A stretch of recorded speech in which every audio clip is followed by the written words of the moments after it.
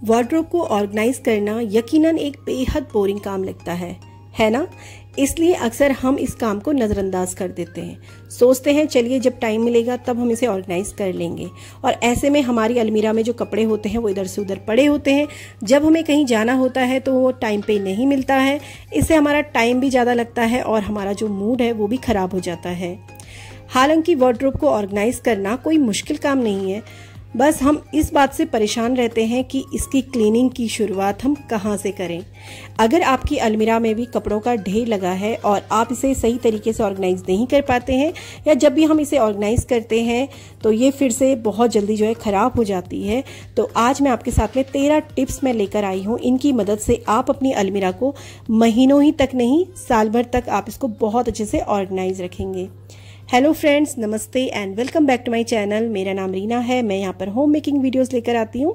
तो चलिए शुरू करते हैं आज का ये इंटरेस्टिंग सा वीडियो सबसे पहली टिप मेरी ये है कि आप अपनी अलमीरा को ऑर्गेनाइज करने से पहले उसको अच्छे से खाली कर दीजिए। अगर आप इसे खाली नहीं करेंगे ना पूरी तरह से तो फिर आप जब इसको ऑर्गेनाइज करेंगे तो आपको जो है परेशानी हो सकती है तो इसलिए आप उसको पूरी खाली कर दीजिए। अगर आपके अलग अलग सेक्शन बने हुए हैं कैबिनेट्स हैं तो आप एक एक करके भी उन्हें जो है क्लीन करके आप उनको ऑर्गेनाइज कर सकते हैं। तो यहाँ पर बेड हमारा जो अलमीरा है उसके साइड में बेड है। सभी के अलमीरा के साइड में बेड होता ही है। तो आपका जो बेड है वो पूरी तरह से जो है खाली होना चाहिए, जिसमें कोई भी सामान ना पड़ा हो। उसके बाद आप सारी जो भी आपकी वार्ड्रोब के कपड़े हैं ना, उन्हें आप बाहर निकाल दीजिए। आप चाहें तो अपने जो वार्ड्रोब के कपड़े हैं, उन्हें आप धूप में भी रख सकते हैं। इससे जो है वार्ड्रोब में कुछ स्मेल सी रहती है जो हमारे कपड़ों से भी आती है। तो आप इन्हें खुली हवा में भी इनको जो है छोड़ सकते हैं, इससे जो महक है वो चली जाएगी। तो यहाँ पर जो है मैंने अपनी वार्ड्रोब को पूरी अच्छी तरह से जो है खाली कर लिया है। इसके बाद आपको करनी है कपड़ों की छटाई। हम सभी की ना वार्ड्रोब में कुछ कपड़े और सामान ऐसे होते हैं जो हमने अपनी वार्ड्रोब में रखे होते हैं। उन्हें हम कभी इस्तेमाल ही नहीं करते हैं और इससे जो है हमारी वार्ड्रोब में जगह घिरती रहती है। तो आप एक अलग बैग रखिए और उसमें कुछ कपड़े जो आपको नहीं पहनने हैं, आप किसी ज़रूरतमंद को दे सकते हैं और जो ज़्यादा फटे हुए हैं, पुराने हैं, ख़राब हैं, उन्हें आप अलग रख दीजिए। कई बार क्या होता है कि हमारे वार्ड्रोब में जो विंटर के कपड़े होते हैं ना, वो भी पड़े होते हैं। तो आप उन्हें अलग पैकेट में रख के आप उसको स्टोर रूम में या जहाँ पर भी आप अपने विंटर के कपड़े रखते हैं ना, वहाँ पर उन्हें रख दीजिए। इस तरह आपकी वार्ड्रोब में सिर्फ़ ज़रूरत के कपड़े व सामान ही आपको मिलेंगे। तो यहाँ पर मेरी दूसरी टिप है कि आपके जो कपड़े हैं, उनको अलग अलग कैटेगरीज में आप रख सकते हैं। तो यहाँ पर मैं सारे कपड़ों को जो है यहाँ पर छटाई कर रही हूँ। तो जो टॉप टी शर्ट है, उन्हें अलग रखूँगी, जो ड्रेसेस हैं, उनको अलग रखूँगी। तो यहाँ पर मैंने कुछ ड्रेसेस हैं, उन्हें हैंगर पे मुझे रखना है तो मैंने इस तरीके से रख लिया है। जो सलवार सूट, दुपट्टे वाले सेट है, उन्हें मैंने अलग रखा है। जो कुर्ते हैं, उन्हें अलग रखा है। लेगिंग्स, जीन्स, इस तरह से अगर आप अलग अलग रखेंगे तो आपको ऑर्गेनाइज करने में परेशानी नहीं होगी। कुछ पार्टीवेयर सूट ड्रेस होते हैं, उन्हें मैंने इस तरह से पैकेट में मैंने ऑर्गेनाइज करके रखा हुआ है। तो ये करना बहुत ज़्यादा ज़रूरी है। इसमें से आपको जब आप इनको कैटेगरीज में रखेंगे, जब इनकी छटाई करेंगे ना तो आपको बहुत सारे ऐसे कपड़े भी मिलेंगे जो आप यूज़ ही नहीं करते हैं। तो यहाँ पर मैंने जो साड़ियाँ वगैरह थे, जो भी ब्लाउज, पेटीकोट हम पहनते हैं, उन्हें मैंने इस तरह के बॉक्स में रख दिया है। थर्ड टिप है कि आप डिस्कार्ड ज़रूर कीजिए कपड़ों का। तो यहाँ पर मेरे पास कुछ कपड़े ऐसे थे जो मैंने अलग रख दिए हैं तो मैं ये जो है किसी ज़रूरतमंद को दे दूँगी। फोर टिप है अलमीरा को ऑर्गेनाइज करने से पहले उसकी अच्छे से जो है डीप क्लीनिंग करना बहुत ज़्यादा ज़रूरी है। तो यहाँ पर जो है मैं क्लीनिंग स्प्रे है इसका यूज़ कर रही हूँ और एक माइक्रोफाइबर मैंने क्लोथ लिया है। इससे बहुत अच्छे से जो है आप किसी भी जगह की अगर सफ़ाई करेंगे ना तो माइक्रोफाइबर कपड़े से बहुत अच्छे से जो है क्लीनिंग हो जाती है। तो चलिए जब तक मेरी वार्ड्रोब क्लीन होती है तो मैं आपको कुछ दिखाना चाहती हूँ।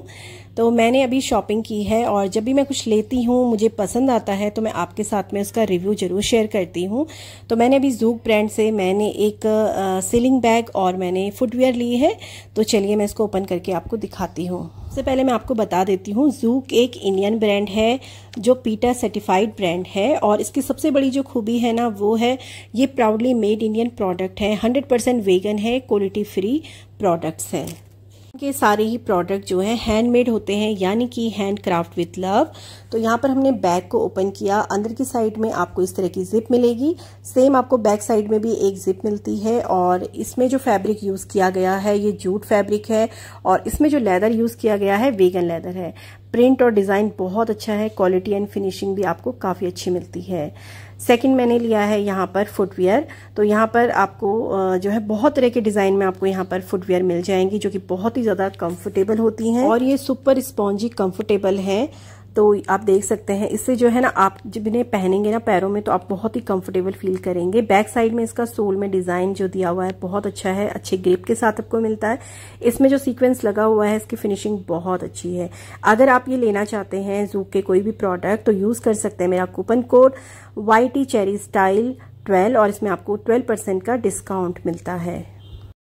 लुक ब्रांड का लिंक आपको डिस्क्रिप्शन बॉक्स में मिल जाएगा, आप वहाँ से चेक कर सकते हैं। जब आप इसकी साइड में जाएँगे ना, आपको बहुत सारे बैग्स आपको देखने को मिलेंगे। वहाँ पर आपको laptop bag, office bag bag pack जो भी आप कॉलेज गोइंग अगर गर्ल्स हैं तो आपको बहुत तरह के डिज़ाइन के आपको बैग मिल जाएँगे। फुटवेयर में भी इनका काफ़ी अच्छा जो है कलेक्शन आपको देखने को मिलेगा। तो यहाँ पर ये सीलिंग बैग को आप इस तरह से आप फोल्ड करके आप इसको जो है साड़ी और ड्रेस के साथ भी वेयर कर सकते हैं। शॉर्ट पर्स भी आप बना सकते हैं।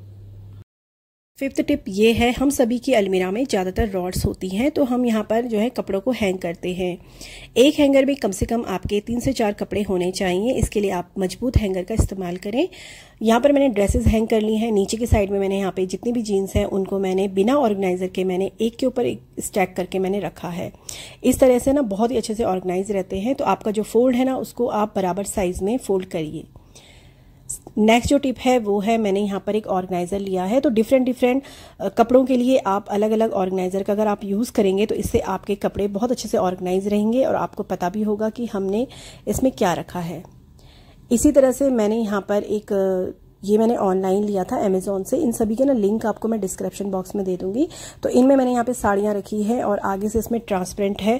तो दिख जाता है कि इसमें आ, कौन सी साड़ियाँ हैं या कौन से कपड़े मैंने रखे हैं। तो इस तरह के जो ऑर्गेनाइजर बॉक्स होते हैं ना, इसमें काफ़ी सारे कपड़े आ जाते हैं।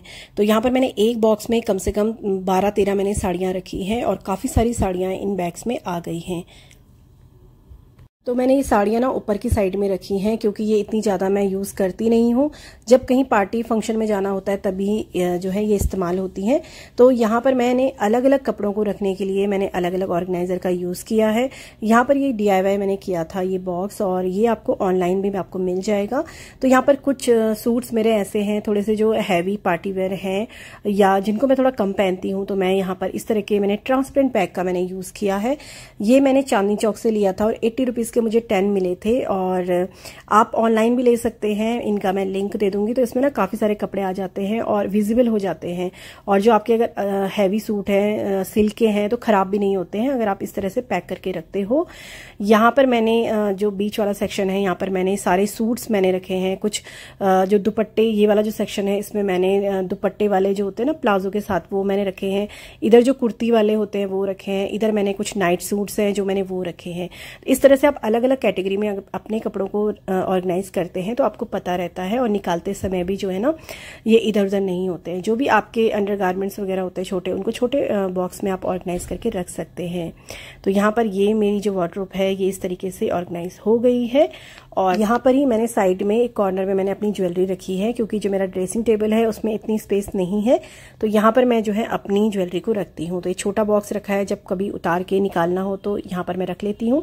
ये जो पेरिस वाला बॉक्स है, इसमें मैंने अपने सारे जितने भी नेकलेस वगैरह हैं सेट हैं, वो रखे हैं। यहाँ पर सारी बैंगल्स मैंने रखी हैं, और पीछे भी जो है वो बैंगल्स ही मैंने उसमें रखी हैं। तो इस तरह से ऑर्गेनाइज रहता है। काफ़ी सारा स्पेस है यहाँ पे, और भी कुछ मैं रख सकती हूँ, इसलिए मैंने इतनी स्पेस यहाँ पे बना के रखी है। तो यहाँ पर मैंने इस तरीके से ये डीआईवाई किया हुआ ऑर्गेनाइजर है। यहाँ पर ये मैंने प्लास्टिक की बास्केट है तो इसमें मैंने टी शर्ट वगैरह रखी है। तो इस सेक्शन में सारी टी शर्ट और जीन्स मैंने रखी है। इस तरह से अलग अलग बास्केट में अलग अलग तरह के कपड़ों को रखने से काफ़ी सारा स्पेस बच जाता है। आपको पता होता है कि यहाँ पर हमने क्या रखा है और इनको निकालना, रखना भी आसान रहता है।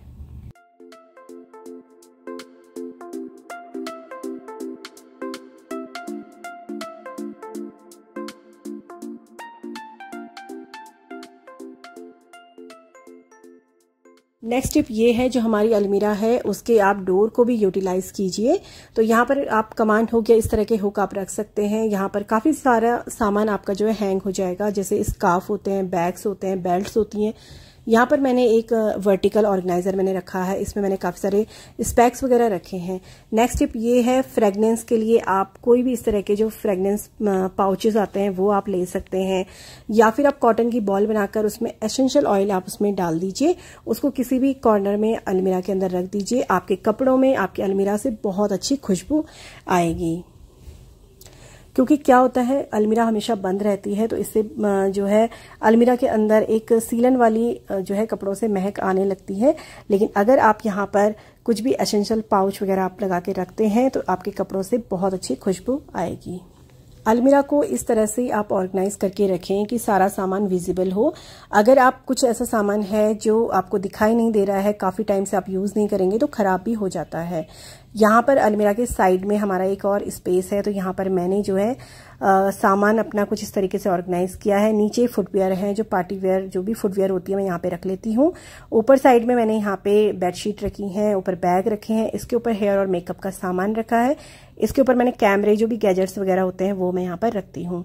तो यहाँ पर मैंने बैग रखे हैं, ये तो मैंने अभी नया लिया है, जूक का है ये।